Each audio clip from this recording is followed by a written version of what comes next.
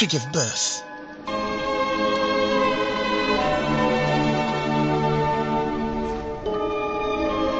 Most chameleon species lay eggs.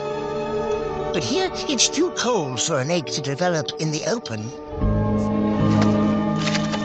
So she produces live young. It takes just an hour for her to give birth to six baby chameleons.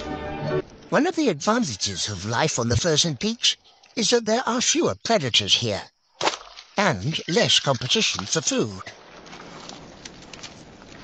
But there's a reason why comparatively few reptiles live in the high mountains. As the sun sets, the temperature falls to below zero in a matter of minutes. The babies must act fast. To escape the nightly freeze, they need the cover of thick vegetation.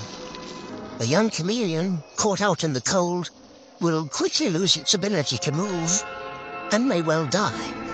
Most, however, react instinctively and find shelter as quickly as they can.